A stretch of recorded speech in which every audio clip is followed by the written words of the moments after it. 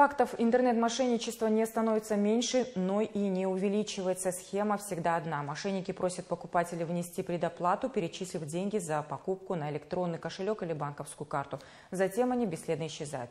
В целях предотвращения подобных правонарушений компетентные органы блокируют сайты с нелегальным контентом. В 2017 году в Казахстане заработала система «Кибернадзор», разработанная для мониторинга сайтов с нелегальным контентом.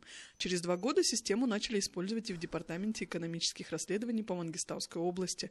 В прошлом году Кибернадзор проверил 455 сомнительных сайтов. Порядка 100 ссылок были признаны незаконными и заблокированы. Большая часть из них – интернет-порталы финансовых пирамид и онлайн-казино. Маңғыстау облысы экономикалық тергеп тексеру департаментімен Департаментом экономических расследований Мангистауской области запущена система «Кибернадзор» для мониторинга сайтов с признаками финансовых пирамид. Со стороны сотрудников ссылки сомнительного содержания, в том числе ссылки с признаками построения финансовой пирамиды или их рекламы, будут блокироваться в специальном разделе сайта.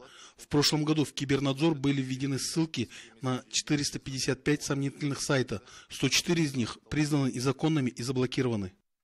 Помимо финансовых пирамид и онлайн-казино в интернете активно рекламируют наркотические средства. Без опасений и колебаний предлагают открыто услуги наркоперевозчика. А власти говорят, что бороться с этим явлением очень сложно. Несмотря на борьбу с сайтами, при блокировке одного на его месте появляется новый.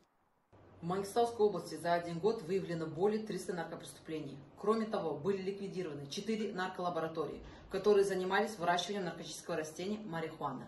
В суд направлено 270 уголовных дел, из них 57 тяжкие и особо тяжкие преступления.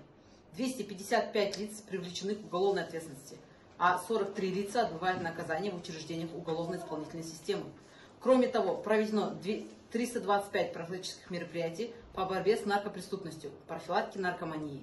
В ходе рейдовых мероприятий было закрашено 530 граффити надписей.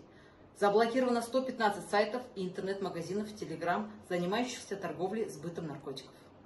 Представители компетентного органа предупреждают не посещать сомнительные сайты и не переходить по невызывающим доверия ссылкам, чтобы не оставлять личные данные в интернете. Часто жертвами мошенников становятся пользователи онлайн-игр и интернет-магазинов. Асель Канширова, Ролан Метулы, Дидар.